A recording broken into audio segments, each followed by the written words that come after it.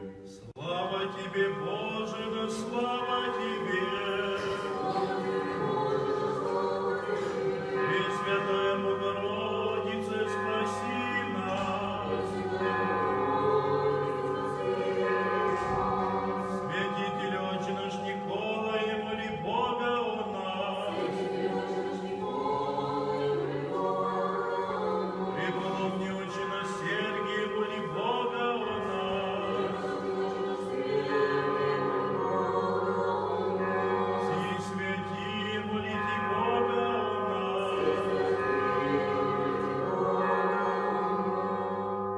Во имя Отца и Сына и Святого Духа. Аминь. 11 ноября. Житие святого Стефана Дичанского, короля сербского. Святой Стефан Урош III Дичанский был сербский краль, король, из числа благочестивых кралей и царей древнего православного сербского государства. Он был сыном святого краля Стефана Уроша II Милутина, внуком Стефана Уроша I и правнуком святого Стефана первого венчанного краля сербского, брата святого Савы, первого архиепископа сербского и сына великого сербского жупана, святого Стефана. Выносите святого Симеона Ниманы, основателя древнего сербского государства. Матерью его была первая жена Милутина Елисавета, дочь венгерского короля Стефана V. Принадлежа к благочестивой сербской королевской семье, Стефан с детства был воспитан в христианском благочестии. С ранних лет Стефану пришлось видеть и пережить много тяжких бедствий. В Сербии в те времена бывали частые смуты и междоусобия среди королевского рода, восстания и крамолы вельмож, постоянные войны с соседями, болгарами, греками и татарами. Враги православного восточного христианства, татары, разгромившие и покорившие православную Русь, разоряли и прочие славянские православные государства, угрожали Болгарии и Сербии. Особенно сильная опасность грозила славянским государствам Балканского полуострова со стороны крымского хана Нагая. Татарские войска, высылаемые Нагаем, опустошали Болгарию и Македонию, вторгались и в Сербию. Болгары на время подпали даже в зависимости от татар. Та же участь угрожала и Сербии. Но сербский король Милутин принял решительные меры. Не будучи в состоянии силой сопротивляться могущественному татарскому хану, он вступил с ним в переговоры, отворотил нашествие татар, но вынужден был отправить молодого сына в татарский лагерь качестве заложника вместе с несколькими знатными сербскими боярами. Но Бог помогал благочестивому Стефану в его несчастьях. Возникшие вскоре среди татар межеусобия кончились убийством Нагая. Воспользовавшись этими смутами среди татар, Стефан возвратился на родину. Ради совместной борьбы с татарами болгарский царь Смилес вступил в союз с сербским кралем Милутином. Союз этот сопровождался браком сына Милутинова, Стефана Уроша, с дочерью болгарского царя Смильца. После своего брака Стефан Урош получил для самостоятельного управления одну из важных областей именно Зету, или Диоклею, теперешнюю Южную Черногорию. Здесь некоторое время и правил Стефан. Но как нередко прежде, так и теперь возникает в Сербии смуты, сопровождаясь обычными бедствиями и несчастьями. Мачеха Стефана, вторая супруга Милутина, Симонида, дочь византийского царя Андроника Старшего и жены его Ирины, возымела желание, чтобы наследником сербского престола сделался не Стефан Урош, ее пасынок, а родной ее сын Константин. Подстрекаемой своей матерью Ириной, она стала внушать королю Милутину подозрения к его сыну Стефану и клеветать, будто Стефан хочет отнять престол у отца. В то же время нашлось среди сербских бояр немало таких, которые предупредили Стефана о грозившей ему опасности. Но избавиться от нее советовали посредством восстания против отца и отнятия у него королевской власти. Между тем, отца его Милутина злые люди успели убедить, что сын замышляет против него восстание и хочет свергнуть с престола. Тогда Милутин отправляется в область своего сына и посылает схватить его. Посланные заковали Стефана в цепи, посадили в темницу в Скопле и ослепили.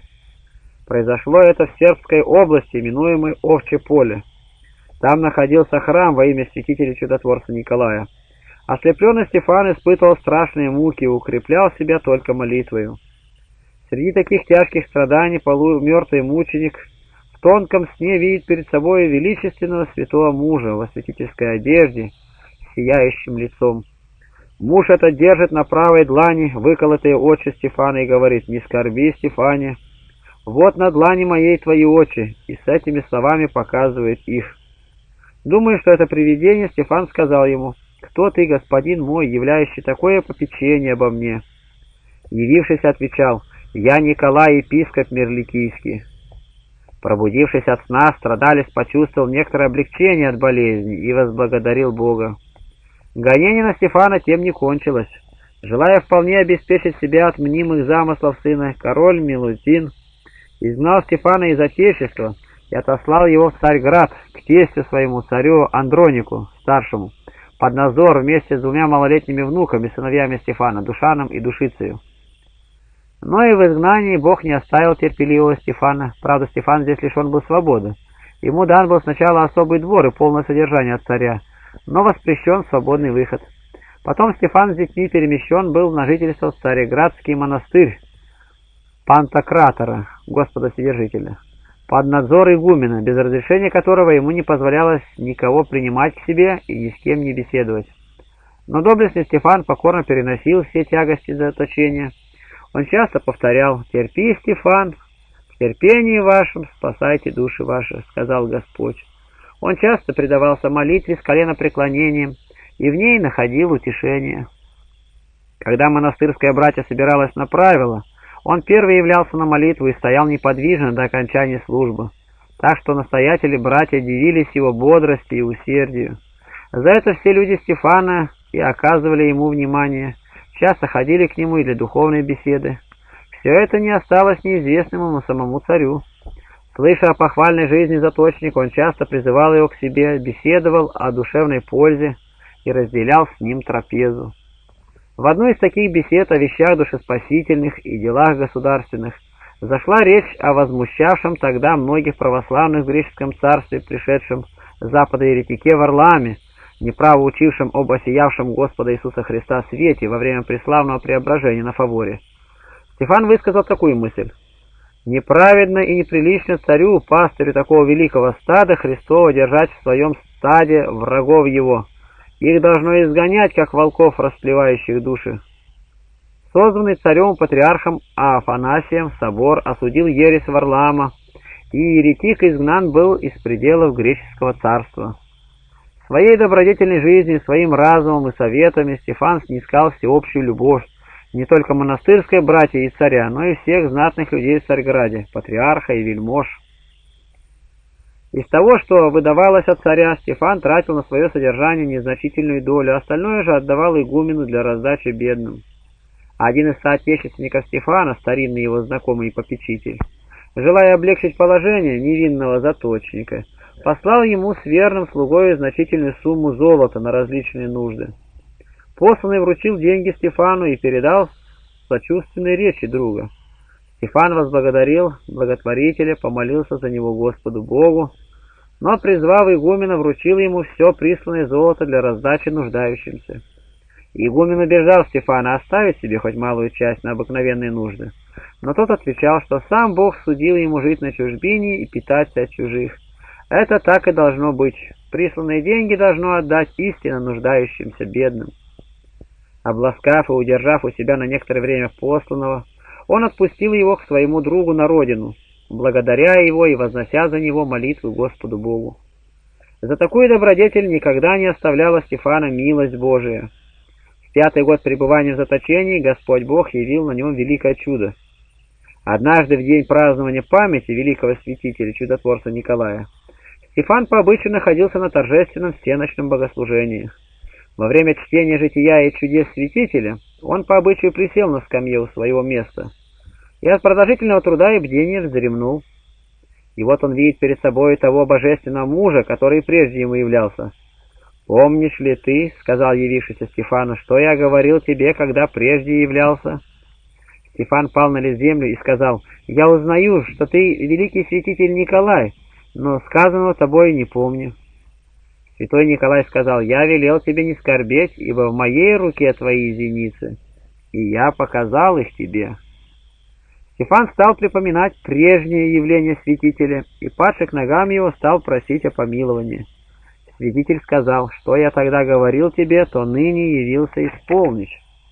И как бы подавая зрение, поднял Стефана, осенил лицо его крестным знаменем, коснулся очей и произнес, «Господь наш Иисус Христос, даровавший очи слепому от рождения, дарует и твоим очам их прежнее зрение». И с этими словами святитель стал невидим. Объятый трепетом Стефан, пришедший в себя, стал по неизреченному милосердию Божию видеть, как и прежде.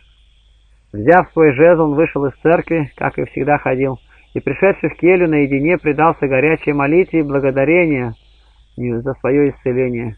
После долгой молитвы, закрыв по-прежнему глаза полотенцем, он снова вернулся в церковь и стоял по обычаю, утаив от всех совершившееся над ним чудо и никто не узнал, что ему возвращено было зрение до того самого дня, когда Богу угодно было по возвращении в Отечество поставить его законным сербским кралем.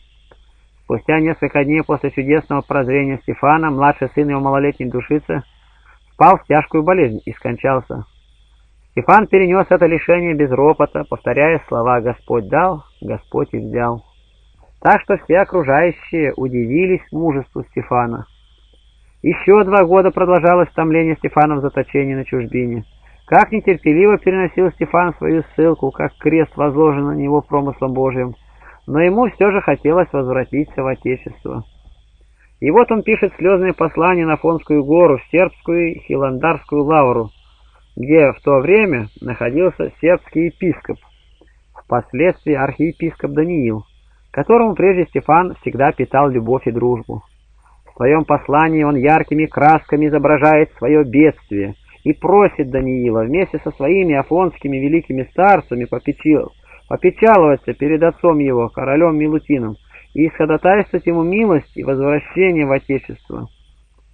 На Афоне собрался общий собор старцев для обсуждения дела. Решили написать послание к сербскому архиепископу Никодиму, и отправить его с выборными почтенными старцами в Сербию, чтобы ходатайствовать о возвращении сына и внука. Красноречивое послание речи архиепископа Никодима и посланных старцев тронули сердце отца. В то же время прибыл в Сербию из Царьграда игумен обители Пантократора, который содержался Стефан с сыном. Этого игумена, как человека красноречивого и искусного, Византийский император Андроник, палеолог, послал к своему зятю сербскому королю Милутину просить военной помощи против врагов греческого государства. Переговорив о государственных делах, король Милутин пригласил царского посла игумена обители Пантократора для беседы наедине и стал расспрашивать о своем сыне Стефане. Игумен подробно повествовал отцу о добродетелях, подвигах и терпении его сына и прибавил, что с ними не могут сравняться все царские сокровища, эти рассказы тронули Милутина. К тому же незадолго перед тем умерла теща его, мать Симонида, императрица Ирина, главная виновница подозрений и вражды отца к сыну. Вследствие всего этого Милутин решился возвратить сына. Он отправляет посольство к императору Андронику и просит отправить сына своего Стефана со внуком Душаном обратно на родину в Сербию.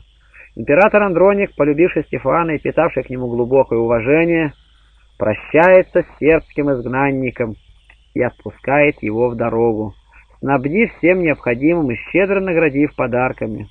Андроник знал о прозрении страдальца, но никому не открывал этого, чтобы не навлечь на Стефана новых подозрений и гонений. Так, после восьми лет заточения на чужбине, Стефан вернулся в Отечество вместе с подраставшим сыном своим Душаном. Встреча была трогательная. Отец примирился с сыном, он дал ему для прожития в управлении небольшую Будимирскую область, в Диоклее, Зете, а внука Душана оставил у себя для воспитания, а может быть и для того, чтобы иметь его как залог верности сына. Спустя три года последовала смерть сербского короля Милутина 29 октября 1320 года. Сторонники мачехи Стефана Симониды произвели было смуту в пользу сына ее Константина, но большинство сербских вельмож стали на сторону законного наследника престола, старшего Милутинова сына Стефана, который прибыл из Диоклеи в тогдашнюю столицу Сербии, город Призрез, и в январе 1321 года был венчан королевским венцом сербским архиепископом Никодимом в сослужении всего собора сербского духовенства. Вместе с отцом, по византийскому обычаю, венчался на королевство и сын его Стефан, младый краля, называвшийся Душаном. Стефан стал править под именем Уроша III. Теперь повязка с глаз была снята, и для всех очевидно стало чудесное возвращение зрения Стефану заступничеством великого чудотворца Николая. Правление Стефана Уроша III не было покойным и мирным, внутренние смуты не улеглись. Брат Стефана, сын гречанки Симониды, Константин, собрал войско и двинулся на Стефана, требуя уступить ему королевский престол. Стефан со своей стороны собрал войско и двинулся против Константина. Прежде чем дело дошло до сражения, Стефан отправил к брату письмо, в котором убеждал не воевать против своего отечества при помощи иноплеменных войск, а мирно править той областью, которую он даст брату. Можно обоим в довольстве жить в такой обширной земле. Но Константин не, за, не внял этим мирным предложением, вступил в сражение и был убит, а люди его перешли на сторону Стефана. Поднял восстание против Стефана Уроша III еще двоюродный брат его, Владислав, сын Сремского короля Драгутина, брата Милутинова. Но и это восстание окончилось в пользу Стефана. Владислав должен был покориться ему. После смерти первой своей супруги, болгарской царевны Стефан Урош еще дважды вступал в брак с Бланкой, дочерью Филиппа Таренского, герцога Ахайского, и по смерти этой второй жены и с Марией, дочерью салунского наместника Иоанна Палеолога.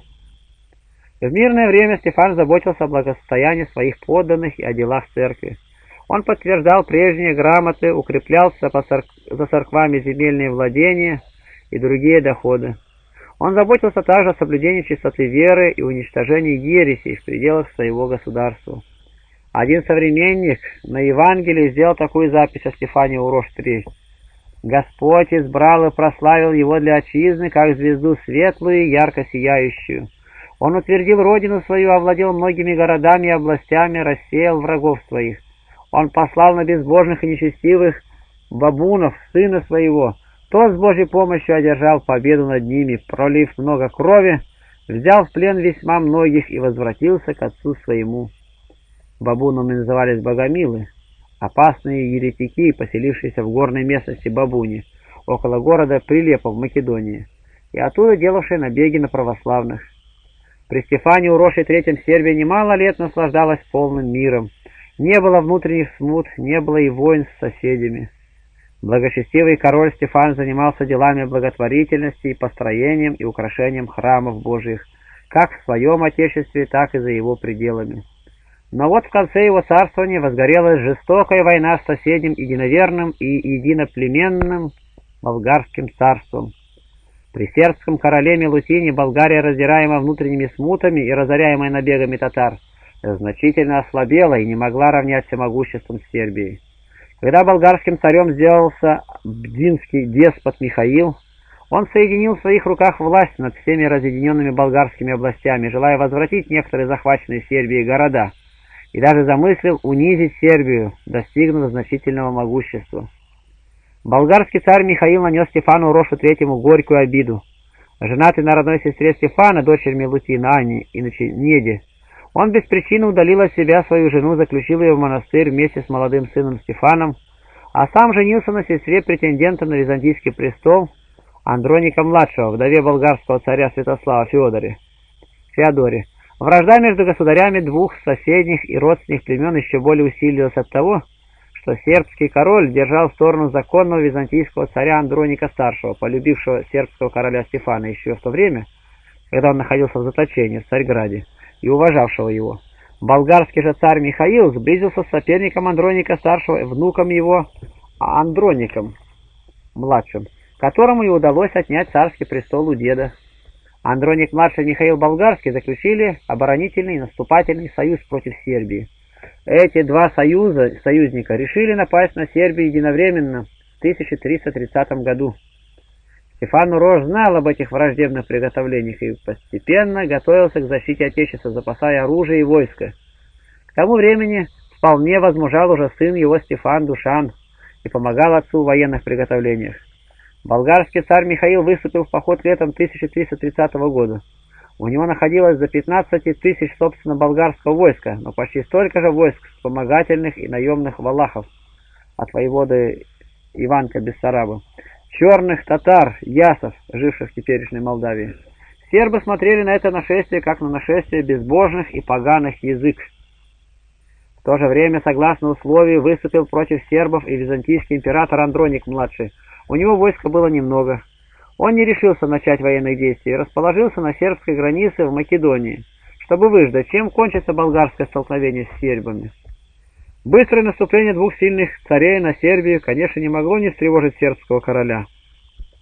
Хотя он уже подготовился, но ему хотелось избежать кровопролития. Он решил отправить болгарскому царю послание, убеждая его не допускать кровопролития. В этом послании он писал «Зачем идешь губить болгарские и сербские роды? Что Богом даровано тебе, то ты имеешь в своих руках, и будь доволен этим, а чужого не желай. Не желай того, что Богом даровано другим. Если ты уже так воинственен, то вооружайся на иноверных, а не на христовых людей, которых по его благодати я состою пастырем, и которые ничем тебя не обидели. Помысли, сколько прольется крови, сколько бесчадится матерей, сколько трупов с обеих сторон будет брошен на сиденье птицам и зверям, и сколько взыщет за них Бог от погубившего их.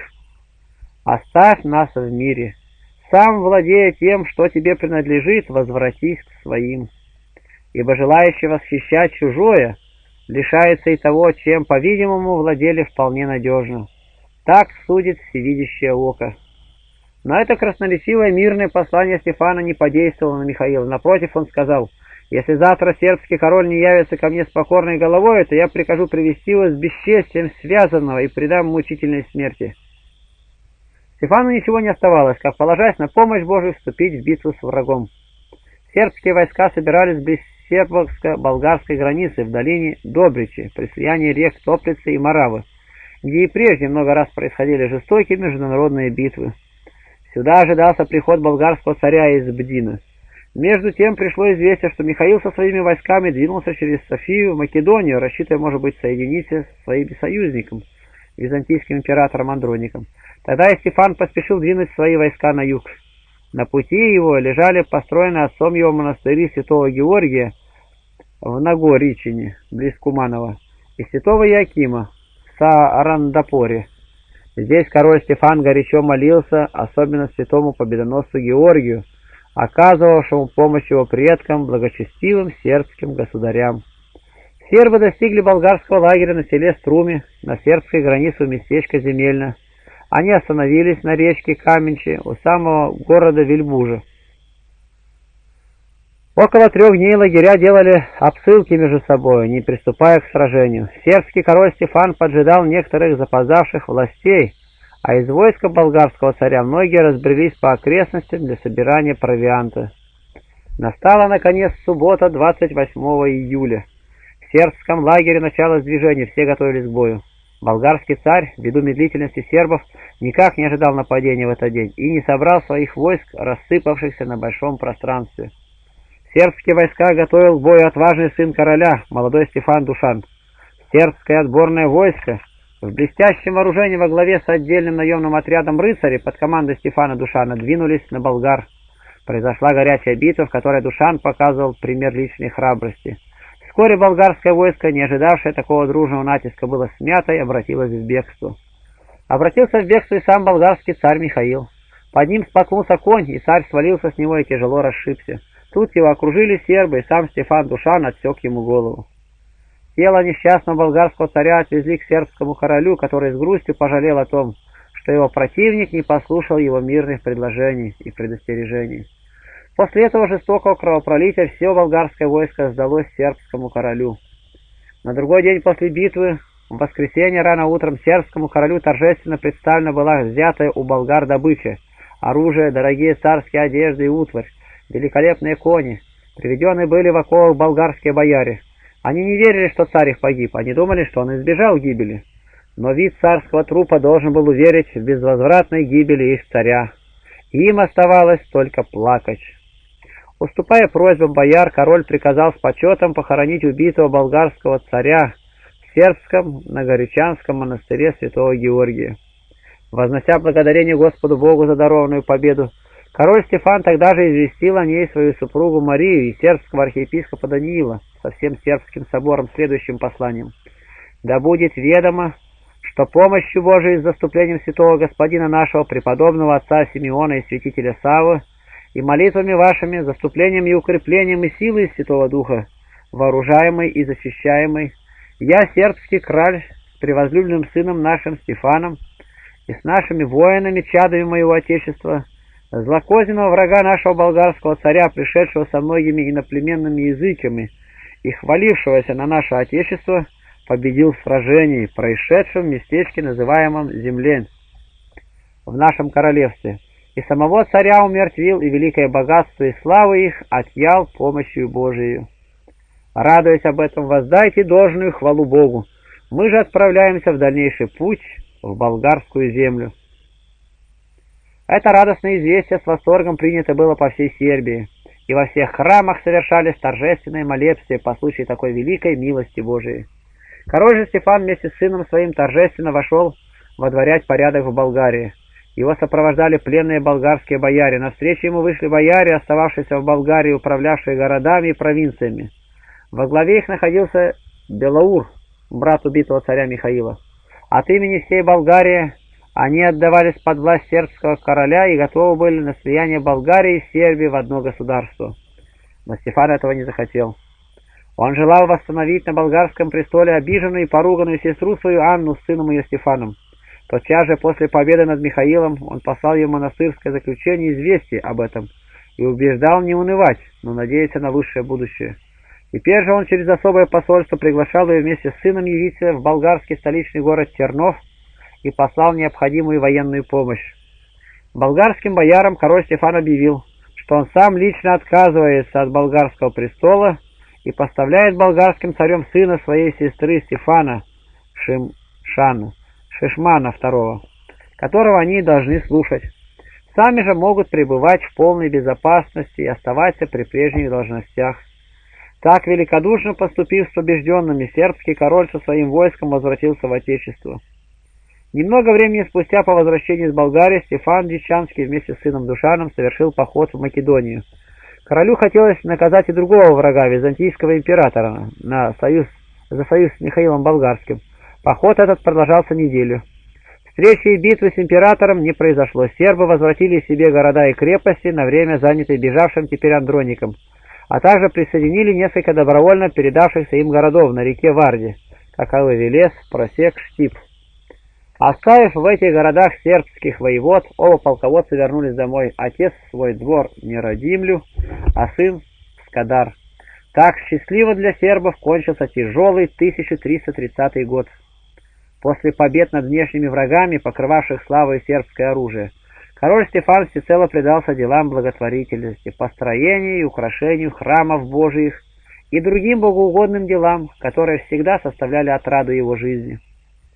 Вся жизнь святой, всю жизнь святой Стефан был учителем православной святыни, чтителем, и не только в своем отечестве, но и за его пределами.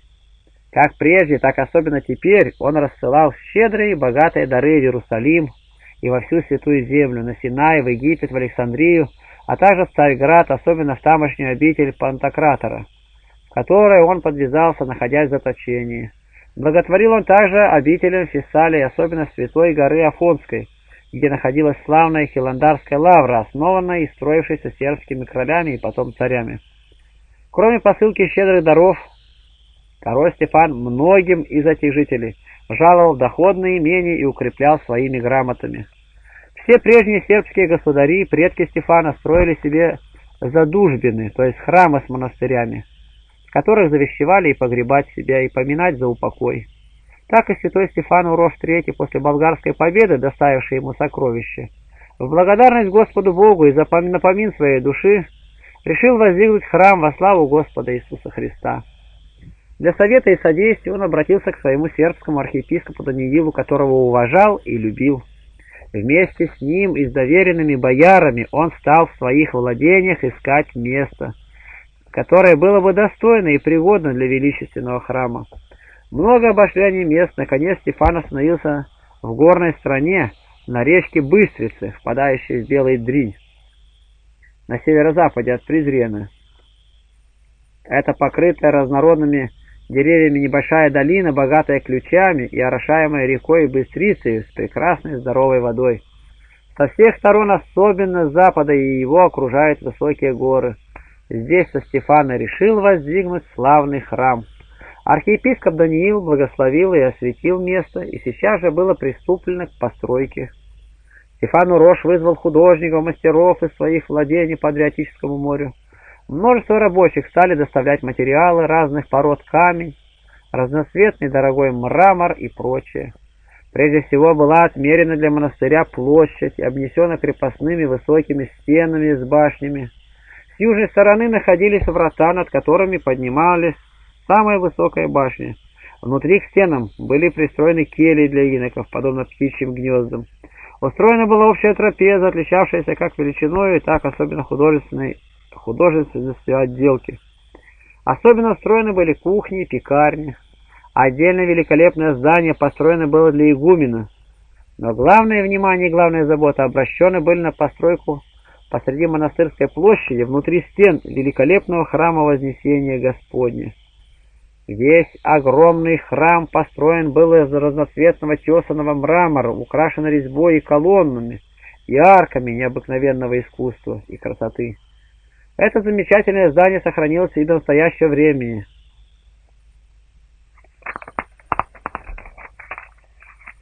Великолепию красоте внешнего вида соответствовали и внутренние украшения главного храма пределов из резного камня, золота и других дорогих материалов. Кроме предела во имя покровителя своего заступника святителя Николая в южной, стороне главного храма Стефан построил в честь его еще особую церковь вне монастыря вблизи для всегдашнего служения в честь всего святого. Незадолго до смерти явился Стефану всегдашнего заступник и помощник святой Николай Чудотворец и сказал, «Приготовься, Стефан, к исходу, ты вскоре должен предстать пред Господом». Последние дни жизни Стефана Уроша III омрачены были великим несчастьем. Враждой к отцу сына его, молодого короля Стефана Душана, кончившейся мученической смертью многострадального Стефана Уроша. Стефан Душан, отличавшийся подвигами и храбростями в войне с болгарами, правил Детской областью. Свои корыстные бояре, служившие при нем, стали побуждать его отнять престол у отца и сделаться королем над всей Сербией. Они пугали Стефана, что его постигнет такая же участь, как и его отца, ослепленного в детстве дедом его Милутином. Честолюбивый Стефан поверил наговорам, и в его области поднялось возмущение против отца. Урош не желал вражды, он принял меры для прекращения восстания. После долгих переговоров повидался с сыном, который обещал не предпринимать ничего против отца. Стефан Урош опять оставил сына в покое, возлагая надежду на Бога. Но не того желали бояре. Они стали говорить Душану, что отец к нему питает затаенную вражду и погубит его. Доверяя этому, Стефан хотел было бежать из Отечества в чужие страны, но бояре этого не допустили и снова побуждали Стефана покончить с отцом. Душан склонился на эти убеждения, и в Сербии совершилось великое злодеяние. После примирительного свидания с сыном Стефану Рош мирно жил в своих владениях, то в одном замке, то в другом, предаваясь делам благотворительности и не принимая никаких особых мер для своей безопасности. В то время, когда Стефану Рош находился в уединенном горном замке, Петричи, близ Нерадимля, внезапно приехали туда детские бояре со Стефаном Душаном во главе. Окружили замок и захватили Стефана Уроша со всей семьей. Самого Стефана Уроша Душан приказал отвезти в отдаленный и уединенный недоступный замок Звечан, а жену его в другое место. Но этим дело не кончилось. Решено было совсем покончить со старым сербским кралем. По распоряжению Стефана Душана отправились Звечан некоторые из его приближенных и Стефан Урош мученически скончался, будучи удавлен в замке. 11 ноября 1331 года. Тело мученика привезено было в новопостроенную обитель Дичанскую, торжественно погребено в богатой гробнице, построенной самим Стефаном в церкви Вознесения Господня. Говорили, что Стефан Урош скончался естественной смертью, но, конечно, все скоро узнали правду и смотрели на покойного короля как на мученика. Через семь лет было чудесное явление экклесиарху Дичанской области. В сонном видении некий неведомый муж повелел извлечь из земли тело покойного короля Стефана. Экклесиарх пересказал видение игумену. Осторожный игумен успокаивал экклесиарха уверениями, что это простой сон, но явление повторилось. Наконец, третий раз грозный муж явился уже не одному екклесиарху, но и игумену, и требовал того же. Тогда игумен сообщил об этом всем, всем архиепископу. Собрался духовный собор в Дичанах. После молитвы открыли гроб Стефана, и по всему храму и вокруг его разнеслось благоухание. Все узрели нетленной мощи святого мученика. Тогда же совершилось несколько чудес. Прозрел слепец, припавший к мощам мученика, получали исцеление другие болящие. И впоследствии произошло много исцелений и других чудес. Святой Стефан всегда являлся на помощь, с верой притекавшим к его заступлению, на ее достояние. И всегда охранял свои обители от врагов, покушавшихся на ее достояние. Со времени открытия мощей святого мученика Дичанская обитель стала драгоценной святыней для православного сербского народа. Богу нашему слава во веки веков. Аминь. Просим, приходите, подписывайтесь, э, будете регулярно получать с нашего канала.